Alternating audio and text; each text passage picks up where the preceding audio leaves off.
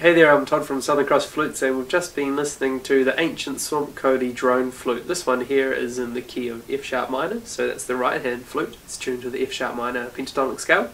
And on the left hand side we're playing the drone, which is in F sharp. This flute is made entirely from Swamp Kauri. Now this wood's around 40 to 50,000 years old. It's hand-picked and carbon dated by the ancient Kauri Kingdom, which is a company up in the far north of New Zealand there. Uh, we've got two turquoise stones in it as well. Uh, and the turquoise stone here is inset into the copper tui bird. The tui bird is part of the Southern Cross Flutes logo. logo. Uh, Swamp Kauri has a nice bright acoustic to it, nice clean bright acoustic.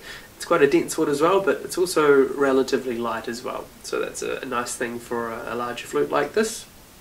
The dual chamberedness doesn't require too much extra air, uh, with some breath control, you'll find that um, you're not running short of breath.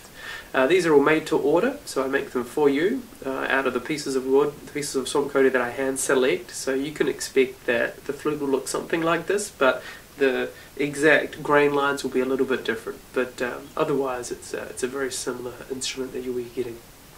You can allow around six weeks for me to finish this for you, and um, I'm positive that you'll be really happy with it. If you have any questions, you can get in touch with me. Uh, listening to more on the listening post, you'll hear this flute there. Uh, otherwise, you can add it to the cart and I'll get it underway. Um, if you have uh, any questions, though, yeah, please do definitely get in touch with me.